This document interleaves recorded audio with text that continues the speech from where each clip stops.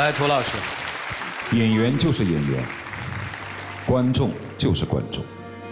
演员只有一种机会可以走向观众，那就是退休；观众只有一种机会走上舞台，那就是谢幕。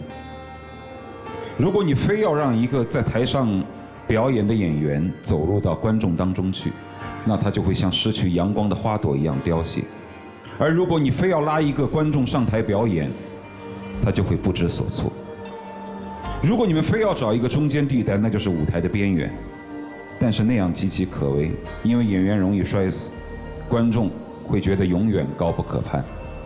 所以我对于你们之间的意见只有一种：要么你始终待在观众堆里面好好欣赏，你在舞台上精彩的表演；要么你就换个舞台继续你的事业，你中途离场不再观看，这就是你们最后的选择。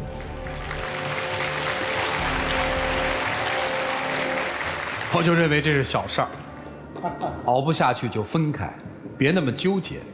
我们一起进入港荣蒸蛋糕好吃不上火的黄金六十秒。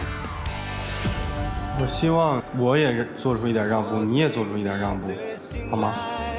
咱们两个没非得走到分手这个地步，我感觉。你认为呢？没有，你总说我没有想着奔着结婚走。但是如果我没有想着跟你奔着结婚走，我就不可能没有一个机会能有，只要能赚钱，我都会去。我就是想，我不想结婚之后做一只金丝雀，就在家里。我可以收拾卫生，我也可以做饭，我也可以洗衣服，什么都可以。但是这是我从小一直到现在一直坚持的。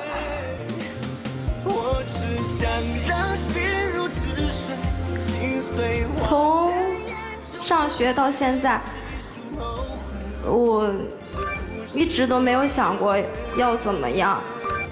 我认为你会支持我。哎，请亮灯吧。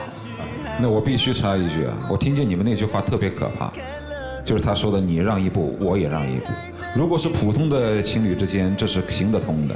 但是你们之间没有什么让一步或者不让一步，只有彼此待在对方的安全区域。否则的话，你让了一步，当年有你又会说，你看我这让这一步是为了你。舞台中间是不可以待人的，那会摔死人的。唉，别再闹了，回去吧。想清楚，别闹了，回去吧，跳舞去吧，去吧。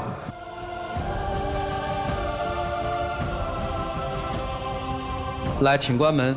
听起来好像真是这个，弄得大家就很恍惚，给大家一种诱导，就是你看。梦想和爱情在一起的时候，就得特决绝的放弃一样，其实压根儿不是这么个事儿，啊，因为你会发现，没有明白梦想的实质是什么，他到底要什么，临了没听清楚，他要什么呀？更大的舞台，还是只是喜欢跳？如果只是喜欢跳，跳舞的形式有很多，为什么一定是舞台呢？对吧？这个说的我我是疼你，你你疼他又疼他的表现，其实没有，还是一个自私的占有。所以他们俩要分开了，倒还真是个好事儿，啊，啊，就跟爸爸妈妈说吧，你们要支持女儿，她也不会有这么大的压力。也许情况是另外一番天地。我们来看看年轻人自己的选择吧。